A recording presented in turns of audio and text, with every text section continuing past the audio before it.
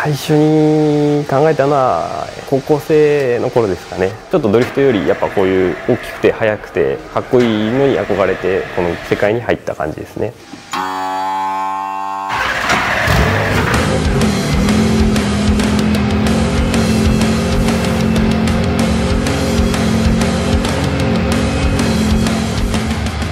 今この会社では、えー、この車のチーフメカニックっていうのとあとこの工場の全体をいる工場長みたいな立場で仕事してます。フォーミュラ3っていうので、まあ、世界的にも統一されたレギュレーションで走ってる車でそれをはじめに今は GT300 とあとスーパーフォーミュラを、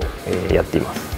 まあ、僕の中ではやっぱり走ってる領域も一般車を走ってる車とは全然違うのでやっぱりドライバーの安全を第一に考えて、まあ、整備しています。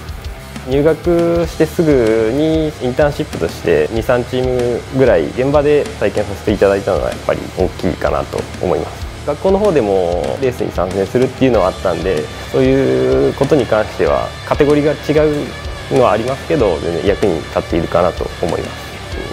一番まあカート実習ですかね。実際カートを生徒同士でドライバーとメカニックとで走らせていたんでそれが一番大きいかなと。現場実習であったり学校内でのレースも参加してるっていうのは大きいかなと思います。